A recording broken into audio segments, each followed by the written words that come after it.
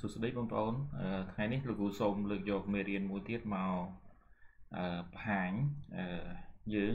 គឺតកតងទៅនឹងមេរៀនបន្សំកាលពីវីដេអូមុនលោកគ្រូបានបង្ហាញហើយមេរៀនចម្លាស់អញ្ចឹងថ្ងៃនេះលោកគ្រូសូមចូលទៅមេរៀនមួយទៀតគឺតកតងទៅនឹងបន្សំសួរថាតើស្អីគេជាបន្សំណាណាអញ្ចឹងយើងចាប់ផ្ដើមមើលទៅលើរូបភាពនេះលោកគ្រូឃើញលោកគ្រូដាក់ពីរនេះ រុញបញ្ចូលគ្នារវាងពណ៌ក្រហមហើយនិងពណ៌លឿងនេះដើម្បីផ្សំគ្នាបានទៅជារូបភាពអីមួយទៀតដូចជាយើងលេងនៅក្នុង Lego អញ្ចឹងល្បែង Lego ដើម្បីបដុំបានទៅជាឡានមួយទៅជាយន្តហោះយើងត្រូវយកបំណែកផ្សេងផ្សេងមកផ្សំគ្នាដើម្បីបង្កើតបានទៅជារូបភាពមួយតមកមួយទៀតបានយើងចាប់ផ្ដើមមើលមកលើអក្សរ A B C នេះ ដែលអក្សរទាំង3ហ្នឹងខ្ញុំដាក់ពណ៌វាផ្សេងគ្នាបន្ទាប់មកទៀតយើងមើលផ្សំផ្សំគ្នារវាង A ហើយនិង B A ហើយនិង C អញ្ចឹងកាលពីមេរៀនមុននិយាយពីចម្លាស់នោះមានន័យថាខ្ញុំរៀបបាន6ដូចគ្នា6ដូចគ្នាប៉ុន្តែនៅពេលហ្នឹងចម្លាស់យើងគិតពីលំដាប់អញ្ចឹងមកដល់ពេលនេះបន្សំគឺអត់គិតពីលំដាប់ទេ ចឹងមានន័យថា AB ហើយនិង BA នេះគឺគេគិតតែមួយទេណាគេគិតតែមួយ AC និង CA ក៏គេគិតតែមួយដែរហើយ BC ហើយនិង CB ក៏តែតែមួយដែរអញ្ចឹងអាហ្នឹងគឺជាលក្ខណៈរបស់បនបន្សំអញ្ចឹងយើងដឹងហើយកាលពីចម្លាស់នោះវា AB ហើយនិង BA វាផ្សេងផ្សេងគ្នាព្រោះយើងគិតលំដាប់មានមុនមានក្រោយប៉ុន្តែដល់ពេលបន្សំនេះយើងអត់មានគិតពីលំដាប់ទេអញ្ចឹងមានន័យថាអត់មានមុនអត់មានក្រោយទេ ចឹងមានថា AB ហើយនិង BA គឺតែតែមួយទីទៀតយើងនឹងមានឧទាហរណ៍នៅខាងក្រោមដូចគ្នាណាអញ្ចឹងយើងតមកចំណុចបន្តផងយើងទៀតនិយាយពីបញ្ញត្តិរបស់មេរៀនណាបញ្ញត្តិអញ្ចឹងមេរៀននេះសិក្សាអំពីការគណនាបន្សំនៃវិញ្ញាសាមួយអញ្ចឹងបើគេនិយាយចំមានថា key បើន័យថាវិធីនៅក្នុងការរៀនបន្សំនេះគឺ ចាប់អារម្មណ៍ទៅលើការចាប់ដោយមិនគិតពីលំលំដាប់មានន័យថា ការចាប់ដោយមិនគិតពីលំដាប់ចាការចាប់ចេញពីណាមួយដោយអត់គិតពីលំដាប់អានឹងគឺជាលក្ខណៈរបស់បនបនសំហើយលទ្ធផលដែលគេចង់បាននៅក្នុងមេរៀនហ្នឹងមេរៀនបន្សំគេចង់បានគេចង់បានថាធ្វើម៉េចឲ្យសម្រេចបានរូបមន្ត CNR នេះស្មើទៅនឹង n factorial នៅលើ n ដក a factorial គុណឲ្យ a factorial ថាតើយើងត្រូវធ្វើយ៉ាងម៉េចដើម្បីទាញបានរូបមន្តនេះមកជំហានលក្ខខណ្ឌរបស់យើងយើងអត់ចង់ប្រើរូបមន្តដើម្បីទៅអនុវត្តលើលំហាត់ទេមានន័យថាយើងចាប់ផ្ដើមចេញពី concept មួយដើម្បីទាញឲ្យធ្វើម៉េចឲ្យបានរូបមន្តនេះបានរូបមន្តយើងនេះអញ្ចឹងសួរថាតើយើងធ្វើតាមណាដើម្បីទាញបានរូបមន្តណា ចឹងយើងចាប់ផ្ដើមបន្តមកទៀតវត្ថុបំណងរបស់មេរៀនអញ្ចឹងមានន័យថាវិជាសម្បទាផងយើងគឺសិស្សបញ្យល់បាន អំពីបន្សំក្នុងវិញ្ញាសាមួយ បានត្រឹមត្រូវតាមរយៈឧទាឧទាហរណ៍ណាបំណិនសម្បទាសិស្សប្រើរូបមន្តដើម្បីគណនាបន្សំ បានត្រឹមត្រូវតាមរយៈការហ្វឹកហាត់ជាបុគ្គលឬមួយក៏ជា ជាក្រុមណាជាក្រុម ចរិយាសម្បទាសិស្សមានស្មារតីប្រុងប្រយ័ត្នក្នុងការដោះស្រាយបញ្ហាបានល្អអញ្ចឹងអានេះគឺជាការអនុវត្តមានន័យថាបំរើបំរាស់របស់បន្សំនៅក្នុងជីវភាពប្រចាំថ្ងៃនៅក្នុងរូបនេះមានន័យថាយើងគិតមើលទៅដូចជាសង្វាក់ផលិតកម្មមួយអញ្ចឹងអឺចង់ឲ្យផលិតកម្មហ្នឹងឬក៏ឧស្សាហកម្មមួយដែរតើទៅមានសង្វាក់ផលិតកម្មស៊ីគ្នា ដូចយើងកង់ហើយនឹងម៉ូតូអញ្ចឹងណាចង់ឲ្យវាទៅមុខបានតើវាមានអីគេមានដុំមានច្រវាក់ផងវាប្រទាក់គ្នាដើម្បីទៅទៅមុខម៉ូតូផ្លាស់យើងប្រើកលេអីចឹងទៅណាវាទៅតាមប្រភេទឡានប្រភេទម៉ូតូផ្សេងផ្សេងគ្នាដូចវិញ្ញងវាចឹងឡានចង់ឲ្យវាឆេះស្រួលល្អមានថាវាតាក់តងទៅនឹងបញ្ញងផងវាខាងក្នុងហ្នឹងដើម្បីតាក់លេតាក់អីឲ្យវាទៅចលនាទៅមុខអាហ្នឹងសុទ្ធតែជាបនបនសំហើយណាបនសំតមួយទៀត នេះមួយដែរនេះគឺជាបន្សំដែលគេប្រើកូដមានន័យថាយើងមើលទៅអានេះដូចទូ ATM គេដាក់លុយធំសម្រាប់បញ្ចូលលុយទៅក្នុងទូ ATM ហ្នឹងអញ្ចឹងគេមានកូដគេមួយអឺដែលបន្សំលេខនៅក្នុងនេះយើងមើលលេខវាមានពី1ដល់9ហើយមានលេខ0មានសញ្ញាផ្សេងទៀតហ្នឹងអញ្ចឹងមានន័យថាទាំងអស់ហ្នឹងគឺផ្សំចូលគ្នាដើម្បីបើកសោហ្នឹងដើម្បីបានដាក់លុយចូលណាដាក់លុយចូល អាហ្នឹងក៏ស្ថិតនៅក្នុងលក្ខណៈរបស់បនបន្សំដែរណាមួយទៀតត្រង់នេះគឺយើងមើលទៅមានរូបស្រីគាត់លាបលេអញ្ចឹងមានន័យថាដើម្បីឲ្យស្បែកមួយល្អអីហ្នឹងតើតើមានធាតុផ្សំផ្សេងផ្សេងពីខាង cosmetic អីមកទៅដើម្បីការពារទៅនឹងកម្ដៅថ្ងៃអីអីផ្សេងផ្សេងទៀតណាអានឹងក៏ជាលក្ខណៈបន្សំដែលយើងប្រើប្រាស់រាល់ថ្ងៃដែរនេះគឺជា virus អញ្ចឹងមេរោគមួយវាមិនមែនមានតែមួយហ្នឹងបង្កើតបានមេរោគទេឧទាហរណ៍ដូច COVID-19 អញ្ចឹងដើម្បីបាន COVID-19 មួយអញ្ចឹងវាមានប្រភេទមេរោគផ្សេងផ្សេងគ្នាផ្សំចូលគ្នាបានបង្កើតទៅជាមេរោគមួយហ្នឹងណាមេរោគមួយហ្នឹងតមកទៀតអានេះគឺជាបន្សំបានន័យថាមានបៃជើង មានខោមានអាវថាតើគេអឺ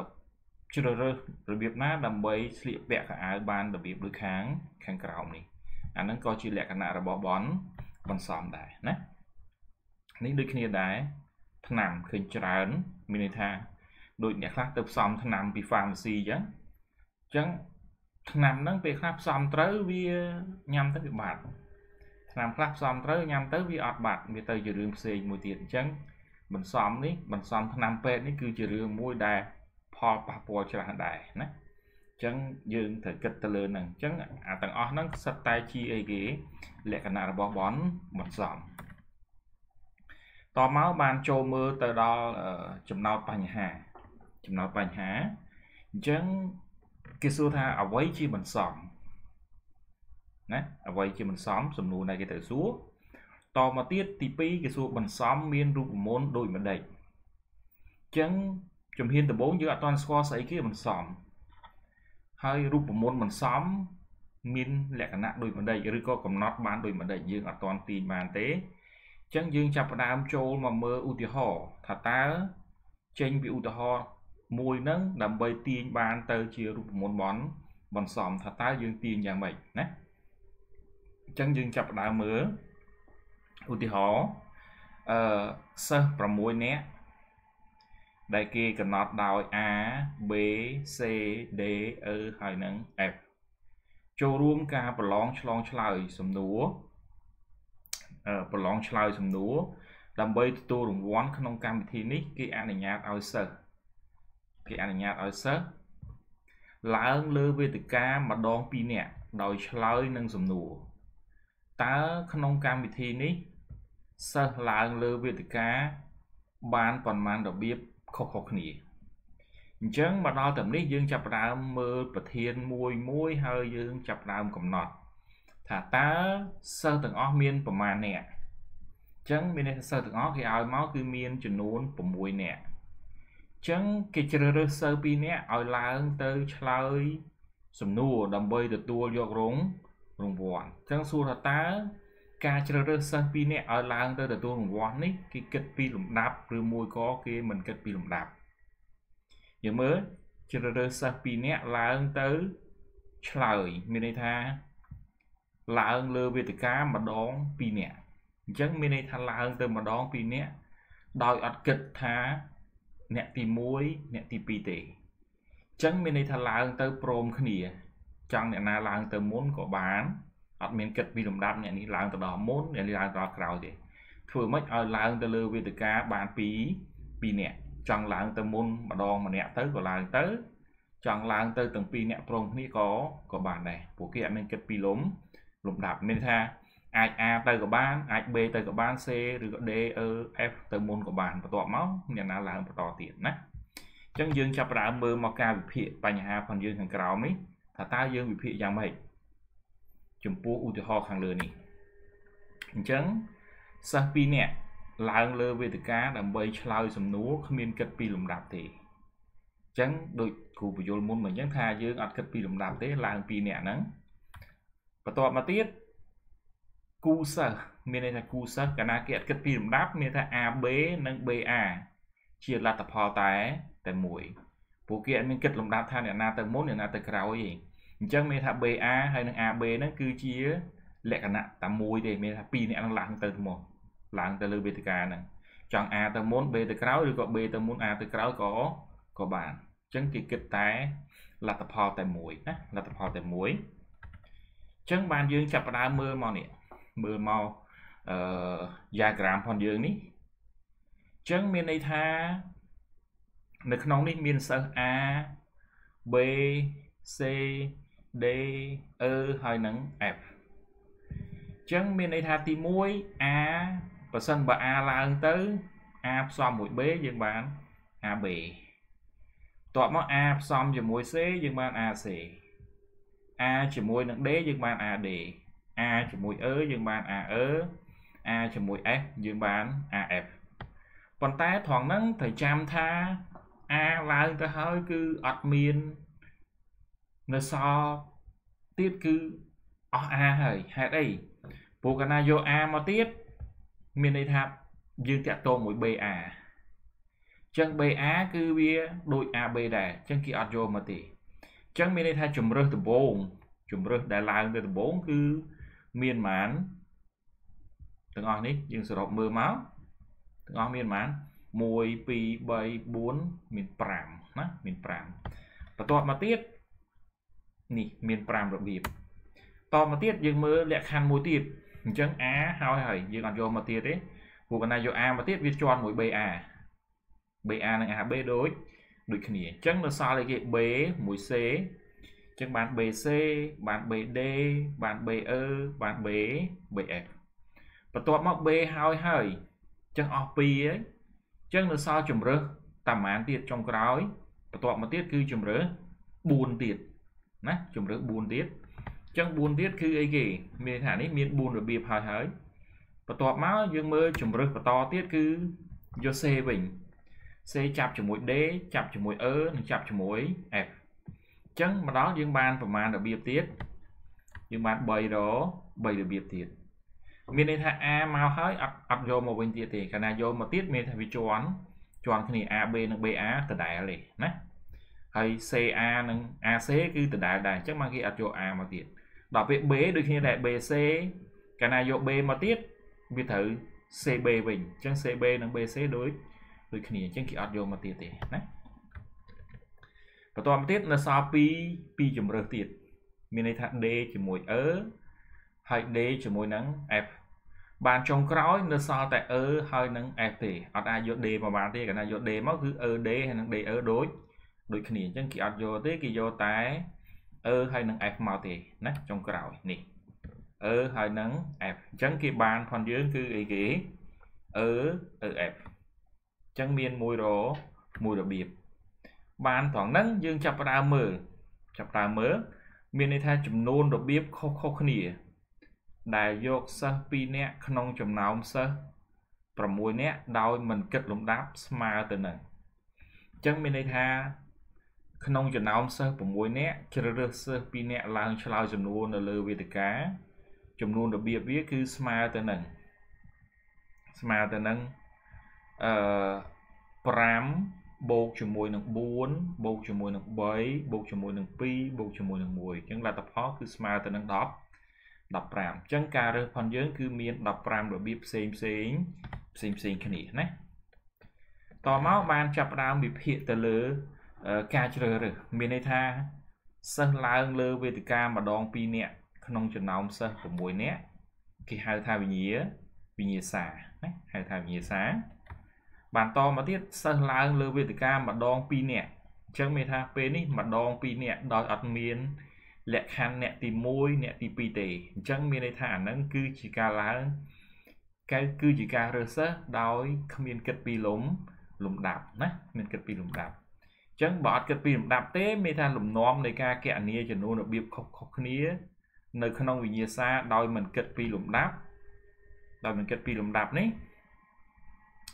ចឹងគេហៅថាអីគេបន្សំ6ធាតុយកម្ដងពី2ធាតុណាបន្សំ6ធាតុយកម្ដង2ធាតុ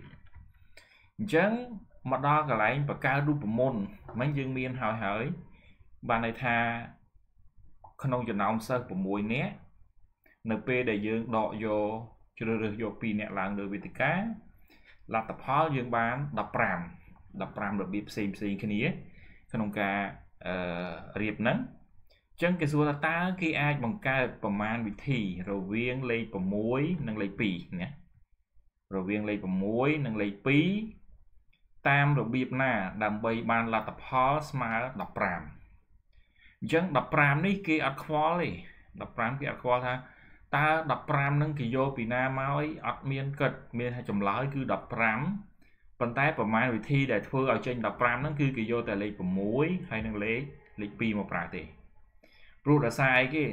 លក្ខខណ្ឌសមត្ថកម្មយើងឲ្យមកគឺសិស្ស6នាក់គឺគេចាប់យកម្ដង2នាក់គេជ្រើសរើសម្ដង2នាក់ឲ្យឡើងលើវេទ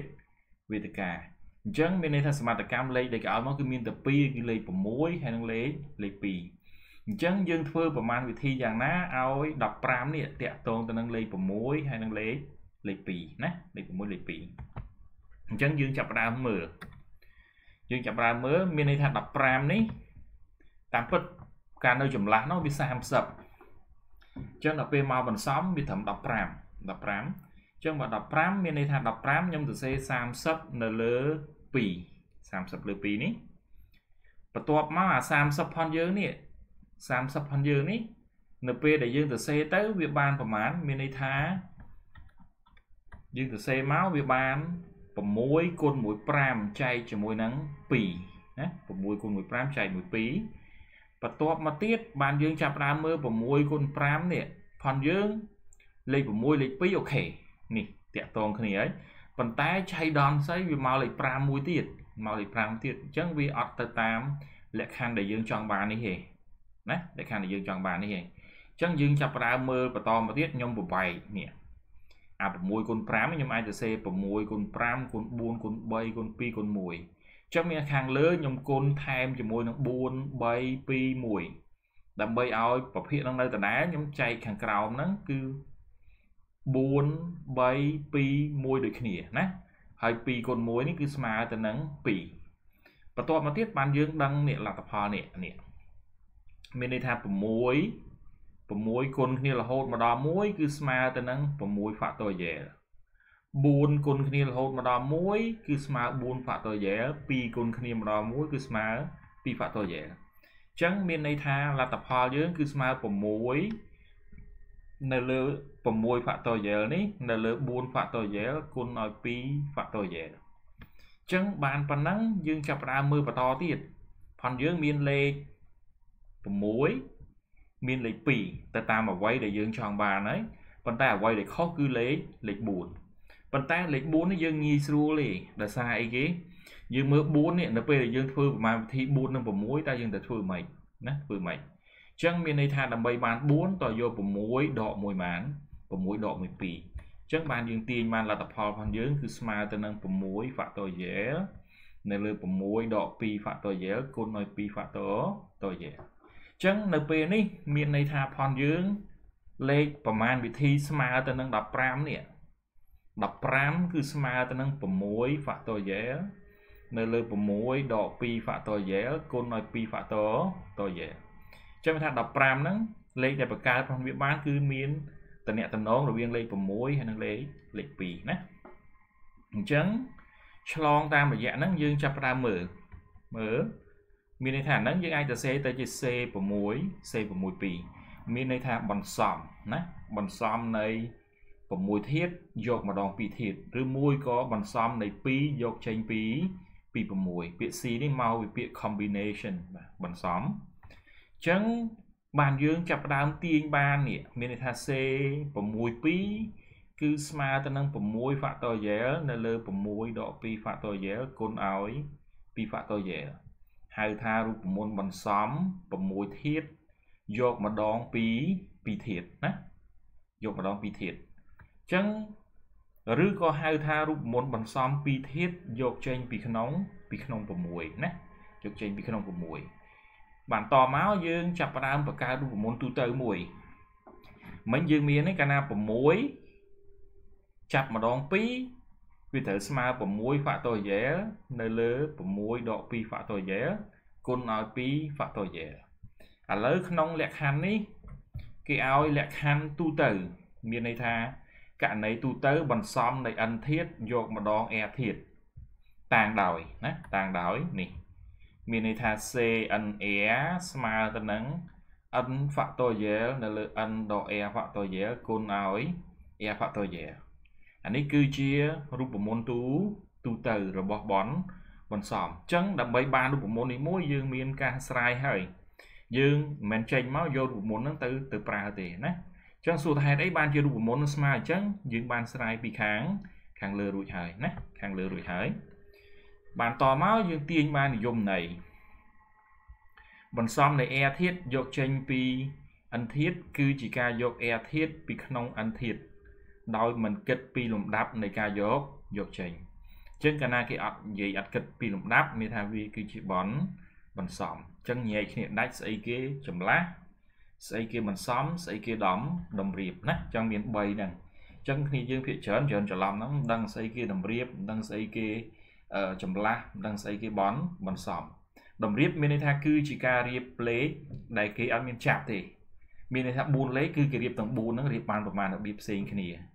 5លេខគេយកលេខទាំង5ហ្នឹងមករៀបប៉ុន្តែដល់ពេលចម្លាស់មានន័យថាគេចាប់ផ្ដើម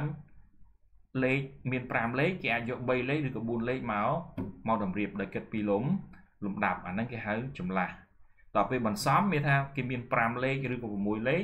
ប៉ុន្តែគេយក3លេខឬមួយក៏2លេខមកប៉ុន្តែតែគេអត់គិតពីលំលំដាប់អាហ្នឹងវាគឺជាបនបន្សំអញ្ចឹងនិយាយគ្នាច្បាស់ស្អីគេតម្រៀប ស្អីគេចម្លាស់ស្អីគេបនបន្សំណាអញ្ចឹងយើងតទៅទៀតផងយើងយើងចូលដល់ការអនុវត្តរូបមន្តណាការអនុវត្តរូបមន្តអញ្ចឹងកណនី C7 3 អញ្ចឹងកាលណាឃើញ C7 3 នេះមានន័យថាអាហ្នឹងគឺជាអឺបន្សំនៃ3ធាតុយកចេញពី7ធាតុអញ្ចឹងរូបមន្តដែលយើងប្រើគឺរូបមន្ត CNR ហ្នឹងណា CNR នេះ ស្មើទៅនឹង n factorial នៅលើ n ដក r factorial គុណឲ្យ r factorial អញ្ចឹងបានយើងចាប់ផ្ដើមមើល n យើងស្មើទៅនឹង7 r យើងស្មើស្មើ3អញ្ចឹងគឺស្មើទៅនឹង7 factorial ណា2 factorial នៅលើ7ដក3 factorial គុណឲ្យ3 factorial អញ្ចឹងវាត្រូវស្មើ7 factorial នៅលើ4 factorial គុណឲ្យ3 factorial អញ្ចឹងយើងសម្រួលគ្នាមករបៀបតាម លក្ខណៈរបស់ factorial យើងទាញបាននេះ7 factorial គឺស្មើ7គុណរហូតមកដល់1 4 factorial 4គុណរហូតមកដល់1 3 factorial 3គុណរហូតមកដល់1អញ្ចឹងយើងសម្រួលលក្ខណៈដូចគ្នាមកយើងនៅសល់7គុណ5គុណនឹង6នៅលើ3គុណ2គុណ1អញ្ចឹងសម្រួលទៀតមកនៅសល់7គុណ5អញ្ចឹងស្មើប៉ុន្មាន35អញ្ចឹង យើងបានបន្សំនៃ3ធាតុយកចេញពី7ធាតុគឺមាន35របៀបណា35របៀបតមកទៀតយើងមើលទៅឧទាហរណ៍មួយទៀតគឺ C 17ហើយនឹង1អញ្ចឹងមានថាបន្សំនៃ17ធាតុយកម្ដងមួយធាតុឬមួយក៏បន្សំនៃ1យកចេញពី17ណាអញ្ចឹងយើងយករូបមន្តបន្សំរបស់យើងនេះគឺ C NR ស្មើទៅនឹង n factorial នៅលើ n ដក r factorial គុណឲ្យ r factorial ណាអញ្ចឹងយើងចាប់ផ្ដើមជួសចូលមកយើងទាញបាន17 factorial នៅលើ17ដក1 factorial គុណឲ្យ1 factorial អញ្ចឹងស្មើ17 factorial នៅលើ16 factorial គុណឲ្យ1 factorial ប៉ុន្តែ1 factorial ស្មើនឹងស្មើនឹង1ណាស្មើ1 ចឹងវានៅសល់17នៅលើ16ម៉េះ17 factorial នៅលើ16 factorial អញ្ចឹងយើងសម្រួលមកស្មើ15 17ណាអញ្ចឹងមានន័យថាបន្សំនៃ1យកចេញពី17គឺស្មើទៅនឹង17ណាបន្ទាប់មកកណនីបន្សំ C 12 12មានថា12ធាតុយកចេញពី12ធាតុឬមួយក៏ 12ធាតុយកម្ដង12ធាតុណាអញ្ចឹងយើងប្រើរូបមន្តយើងដូចគ្នា CNA ហ្នឹងគឺស្មើ12 factorial នៅលើ12ដកឲ្យ12 factorial គុណឲ្យ12 factorial តបមកស្មើ12 factorial នៅលើ0 factorial គុណនឹង10 12ប៉ុន្តែ0 factorial ស្មើនឹងស្មើនឹង1ណាស្មើ1អញ្ចឹងយើងទាញបាន12 factorial នៅលើ1គុណ12 factorial ស្មើនឹងស្មើនឹង1ណាស្មើ1អញ្ចឹងយើងទាញបានបន្សំ12ធាតុនៅក្នុង12ធាតុយកចេញពី12ធាតុនេះគឺស្មើនឹងស្មើនឹង1តមកយើងចាប់ផ្ដើមពិនិត្យមើលលើការអនុវត្តរូបមន្តទៅនឹងចំណោទដែលយើងដាក់ឲ្យមានន័យថាក្នុងថ្នាក់រៀនមួយមានសិស្ស30នាក់មានសិស្ស30នាក់គេជ្រើសរើសសិស្ស3នាក់ពីក្នុងចំណោមសិស្សក្នុងថ្នាក់រៀននេះដើម្បីឡើងទទួលអំណោយពី សប្បុរសជនជូនសិស្សានុសិស្សទាំងអស់នៅក្នុងសាលារៀនតើគេអាចជ្រើសរើសសិស្សអឺ3នាក់បានប៉ុន្មានរបៀបខុសខុសខុសខុសគ្នាអញ្ចឹងគេសួរថាតើបើសិស្ស30នាក់ហើយគេចាប់ផ្ដើមជ្រើសរើសសិស្ស3នាក់ដើម្បីឡើងទទួលរង្វាន់អញ្ចឹងមានថាក្នុងចំណោម3នាក់នេះគេអត់គិតពីលំដាប់ទេអ្នកណាឡើងទៅក៏ក៏បានដែរណា អញ្ចឹងយើងចាប់ផ្ដើមវិភាគទៅលើថាតើមួយណាជាវិញ្ញាសាហើយការជ្រើសរើស3នាក់ហ្នឹងគេគិតលំដាប់អត់ណាចឹងមានថាការជ្រើសរើសសិស្ស3នាក់ក្នុងចំណោមសិស្ស30នាក់ឬសិស្សក្នុងថ្នាក់ហ្នឹងអាហ្នឹងគេហៅថាវិញ្ញាវិញ្ញាសាបន្ទាប់មកដើម្បីឡើងទទួលអំណោយពីសប្បុរសជនសិស្សានុសិស្សទាំងអស់នៅក្នុងថ្នាក់រៀនអញ្ចឹងអាហ្នឹងគឺគ្មានលំលំដាប់ទេណាគ្មានលំដាប់ បន្ទាប់មក30នាក់ហ្នឹងគឺជាចំនួន n គឺជា n ហើយ3នាក់គឺជា air ណា3នាក់គឺជា air អញ្ចឹងយើងត្រូវប្រើរូបមន្តបន្សំហើយមានថាបន្សំនៃអឺ30យកម្ដង3ឬក៏បន្សំនៃ3យកចេញពីក្នុង30 30អញ្ចឹងយើងចាប់ផ្ដើមចំនួនរបៀបខុសៗគ្នាដែលគេជ្រើសរើសសិស្ស3នាក់ចេញពីក្នុងចំណោមសិស្ស30នាក់មាន មានន័យថា C 33 គឺស្មើទៅនឹង30 factorial នៅលើ30ដកឲ្យ3 factorial គុណនឹង3 factorial អញ្ចឹង30ដក3ស្មើទៅនឹង20 27អញ្ចឹងស្មើ30 factorial នៅលើ27 factorial គុណឲ្យ3 factorial ដោយសារលក្ខណៈ factorial យើងដឹងហើយណា30សរសេរ27វាសំ28គុណ29គុណ30អា3គឺ1គុណ2គុណ3 អញ្ចឹងបានខ្ញុំសរសេរស្មើ30គុណ29គុណ28នៅលើ1គុណ2គុណ3អញ្ចឹងលទ្ធផលស្មើប៉ុណ្ណេះអញ្ចឹងស្មើទៅនឹង4060របៀបណាអញ្ចឹងក្នុងការរើសសិស្ស3នាក់ចេញពីសិស្ស30នាក់ដើម្បីឡើងទទួលរង្វាន់គឺមានចំនួន4060ររបៀបផ្សេងផ្សេង